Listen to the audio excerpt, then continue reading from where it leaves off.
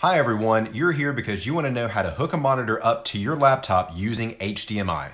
The great news is this is super easy as long as your laptop has an HDMI port and you have a monitor that accepts an HDMI connection.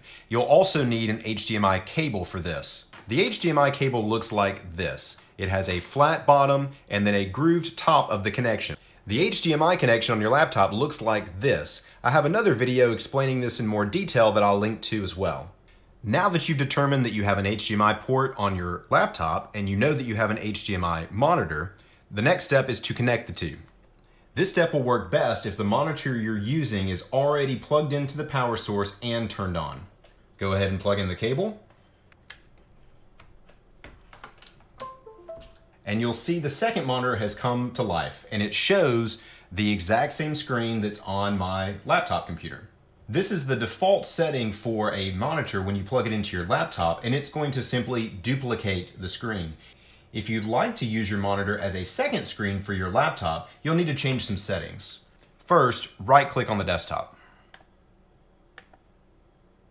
Go to display settings and you'll see that the display is shown as one single monitor with a one, a line, and a two.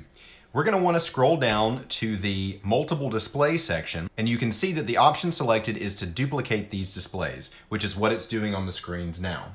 If we open this up, you'll see that you have the option to extend these displays or you can show only on one or only on two. We're going to choose extend these displays. It'll ask you if you want to keep these changes. We'll select keep changes.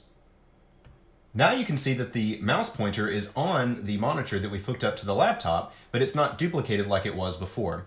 And you can see that actually I can drag a window from one screen to the next.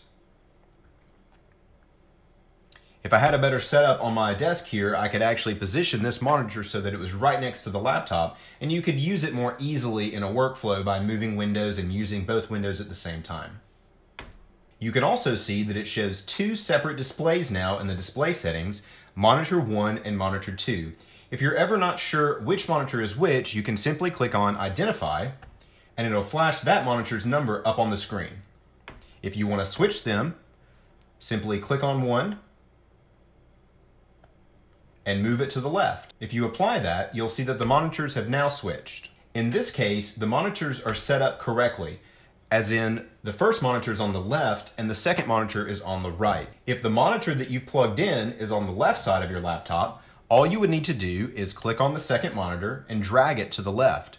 That way it'll orient it in the system so that when you move a when you move your window to the left, it'll go onto that monitor because the system knows that it's on the left side of your laptop. If you need to move it back, just click on it and drag it back. Moving the monitors up and down in these settings tells Windows that the monitor is at a higher height than the one that you're using. So if you have a monitor that's on a monitor stand and it sits higher than your laptop screen, you can use this setting to help the windows line up more easily when you drag windows from one place to the other. I should note that the resolution of both your laptop's screen and the monitor screen is important.